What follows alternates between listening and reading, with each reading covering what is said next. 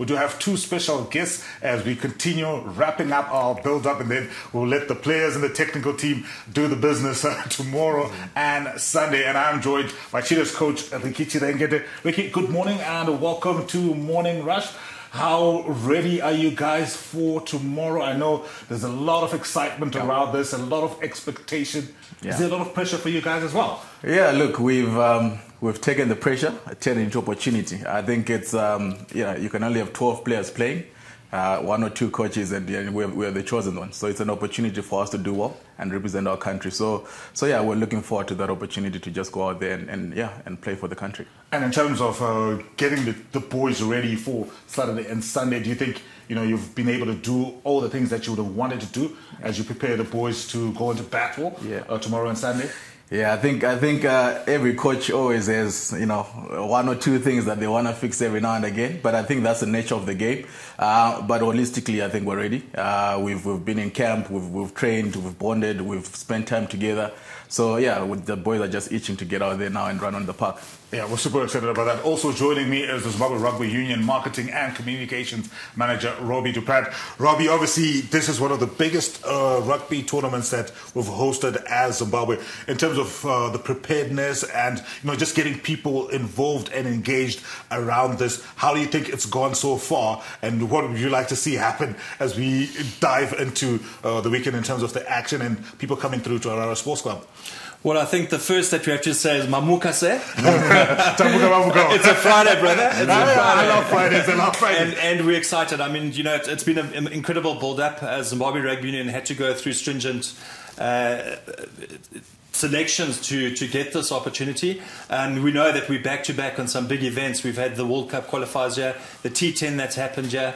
Um, so now this is now the next big event, and I think it could be as big, if not bigger. Um, the important thing about Zimbabwe as well, though, is uh, that the team is really developing uh, under the watchful eye of, of the two coaches, uh, Ricky and Graham. And uh, it's good to see a mix of players as well, with the uh, with guys coming from overseas as well, with youth. I think um, you know they've got in, for a really good chance. And always remember we've got that uh, the crowd, which is very important in Zimbabwe. The crowd just brings that uh, additional uh, ethos and just something to to the spirit of the game. And uh, in all sports in Zimbabwe, that's where the passion lies in Zimbabwe. So we are calling for people to come out 16th, 17th tomorrow and, and Sunday. I mean, you've got some top players here. You've got obviously the Blitzbokke coming in, which is going to be huge. Uh, but I mean, uh, you know, SA has more power cuts than us now, so why don't we beat the yeah, just, just uh, throw in a shot there. But like, in, in, terms of maybe the engagements that yeah. you've had with uh, the local organizing committee, with Rugby Africa, and even just some of, some of the fans who you've spoken up so glowingly, you know, what has been the excitement level been around this particular tournament?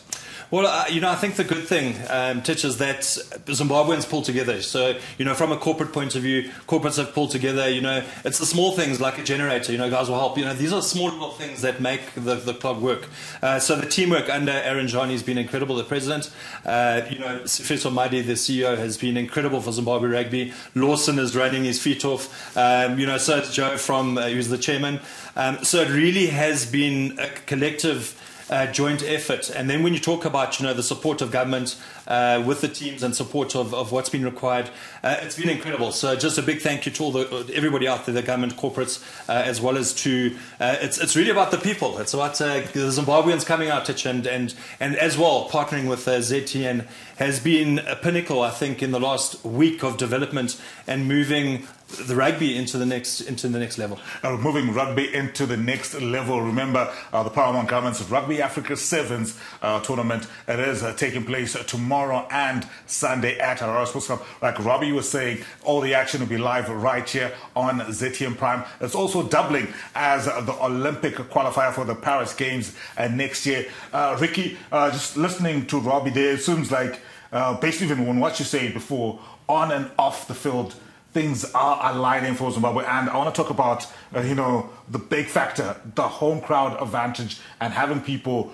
coming through and being able to watch and support yeah. from Harare Sports Club, but even bigger than that as well, having those maybe from Lutito, from Buhera, yeah. from Tsholotsho, all the different parts of the country, being able to also then follow and back the boys uh, by watching the games here on ZTN Prime. How important is it in terms of your ambitions as a team to know that you've got that level of support, you know, from uh, the commercial side, from the marketing perspective, the organizational side, and even from just the crowd backing you on the on the two days? Yeah, it's massive, Tich. Massive, massive. I think. Um, you know, we, we do all our business on the park. You know, we, we train, we run around, but there's a lot happening in the background, as, as Robbie rightly said. For the players to get fed, um, to get taken care of, to get transported, there's a lot of people in the background that are doing that. But moreover, all of on top of all of that, um, people always talk about home ground advantage. If you look at EPL, you know, even in whatever sport, people love playing at home, home comforts, and it's because of the fans. It's because of people coming out when you're running on and someone is shouting your name. Mm. When you look in the crowd and you see a familiar face, that just calms you. Uh, that just rallies you on. We saw what happened with the cricket. Um, that castle corner just bouncing the whole the whole time, the whole day. And, and I think um, obviously the cricket, the chevrons, uh, got energy out of that, and we expect the same. Uh, so not only the guys at the stadium, but also, like you say, the guys that you're broadcasting this this this show to. Um, a kid who's never picked up a rugby ball ever mm. in his life, now seeing that and now aspiring to be to be the next uh, Vuyani Dlomo, to be the next Pio Mafura on TV, mm. just because he's seen it uh, this weekend. So so yeah, it's a massive weekend for us, not only uh, for opportunity to qualify for the Olympics, but for the opportunity to also spread the game to the masses out there who will pick up the game and, and love it like we do. But I mean, just looking at the caliber of the competition that's coming through to Zimbabwe, you know, you talk about the Blitzbokke, you talk about uh, Uganda, you talk about Kenya. Mm. You know, when you look at that alone, that would have been enough to make this, you know, even a mouth-watering tournament. But then there's that big carrot of qualifying for the Olympic yeah. Games next year. Mm. Uh, how much of a motivator mm. is that uh, for you guys, especially uh, playing at home? Yeah, that's huge. Um, obviously, Zimbabwe Sevens has never been to the Olympics before, so it will be a first. Uh, so that's huge for us to, to try and qualify. Uh, and like you said, um, it's not going to be an easy road. There's, there's 11 other teams that have come here that are itching uh, for that for that ticket as well. Obviously, the automatic qualification and the two uh, repechage tickets. So so it's massive. I think I think the guys are not lacking in any motivation. Uh, we don't need any any speeches beforehand or any absolutely no, nothing I, like that. I was trying to get into the, into the dressing room and go like, oh, God, you know what, gentlemen, you know, it's like any given Sunday. you, you, know what, Tich, you're welcome. You know, every single one percent can add up. Uh, but yeah, I think I think inherently and and, and uh, inside the guys are just burning. Uh, yeah, we obviously calm on the outside, but inside there's just burning desire for us to do well. And and again, just being at the Olympics, that's the I think that's a pinnacle of any sports person to be to be at that world stage. So yeah, burning to be there. Uh, Robbie, yesterday we did hear from uh, Rugby Africa at the at the pre-tournament presser, just speaking about how impressed they were with the level of organisation. I think. Uh, there were a couple of teams, I think Ivory Coast, Madagascar, that had arrived. Uh, do you have any update on which teams are here now and what, which teams are still expecting uh, to fly in at the moment? Well, the Blitzbokke flew in yesterday. Um, most of the teams are all here. Um, okay, there oh, is a, There's a dress rehearsal, I think, at 10, 10 o'clock at Royal Sports Club. Um, there is a function at the French Alliance uh, that's happening at between 12 and 2 just to welcome the teams, all dignitaries.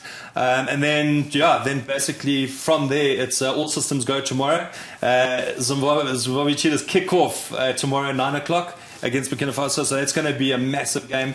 Um, and it, we're excited to, to, just see what the boys can do. You know, it's, uh, it's home soil. Uh, everyone's backing uh, backing the cheetahs and the coaches and the management, and certainly from a ZRU point of view, uh, we're right behind the guys. I think the groundwork and everything has been done now. As you say, you know, Rugby Africa has given us kind of a tick and said, listen, right so far it's been really good, um, but you know it's, it's going to work its way through the weekend. Uh, there's going to be one or two little challenges, but we've got a good team to put it together. All right, and I also know that uh, you're going to be part of uh, the panel of experts. Yes. They'll be maybe breaking it down and analysing it for us throughout throughout yes. the day. Maybe just give us a breakdown of who you'll be working with as well, and maybe what viewers on TV can expect, you know, outside of the action in terms of analysis and just input. Because obviously, we're also trying to spread the game. There might Absolutely. be some people who might not necessarily understand uh, the format, or like Ricky was saying, a boy in Buhera there who's now getting captivated. What can they expect in terms of, you know, the add-ons? Okay. Well, the panel's going to start from eight till eight thirty. That's every single morning, and then the evening we're having a closing panel as as well.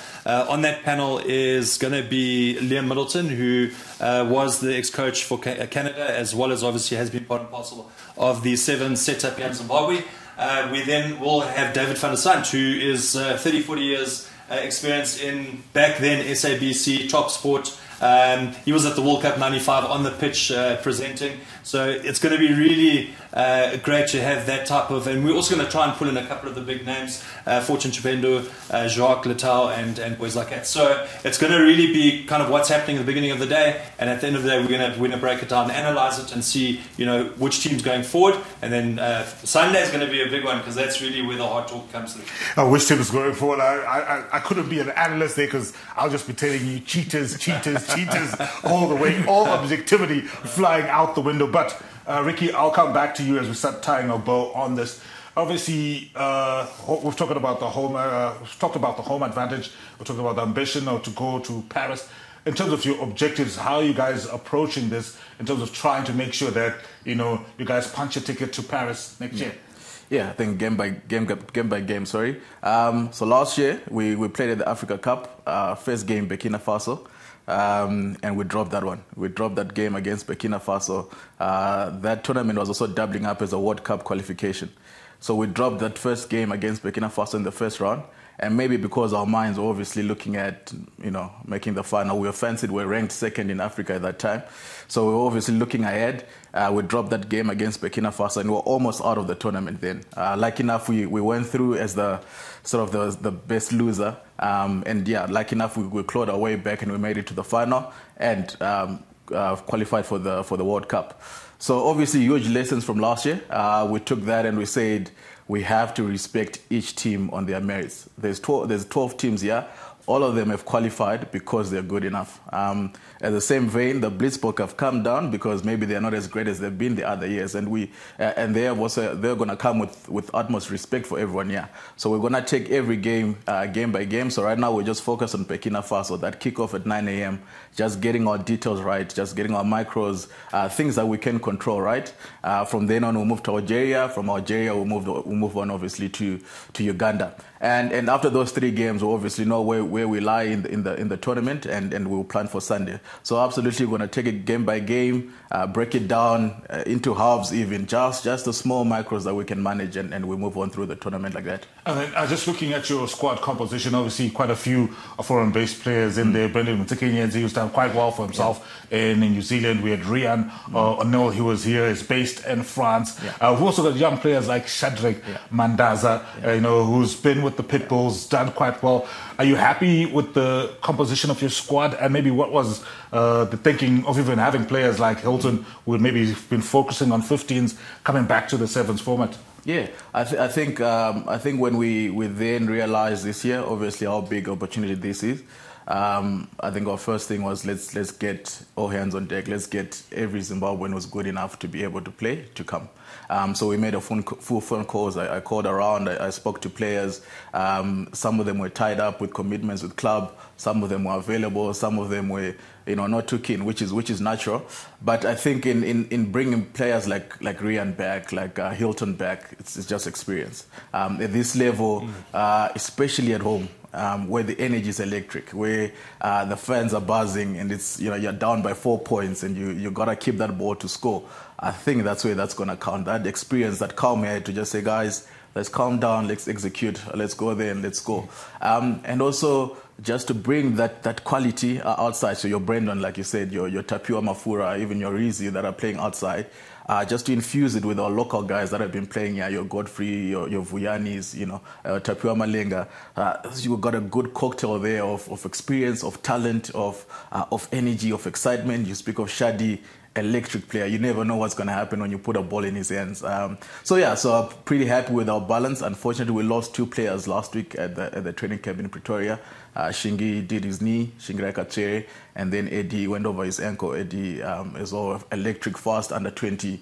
But yeah, I think we had, we had, a, we had a good training squad of 20, so we had able people just ready to fill in and, and take that position. So absolutely happy with what we have. Oh, and if I wasn't confident, you know, just hearing you rattle through that, just uh, shot my confidence levels up. Yeah. Uh, Robbie, as we wrap up, maybe just your word to the fans, to people who want to get behind uh, Zimbabwe rugby, especially the sevens, as we get into the weekend. Well, look, the hard work has been done uh, here within Zimbabwe. The opportunity to get this is just incredible for Zimbabwe as a nation.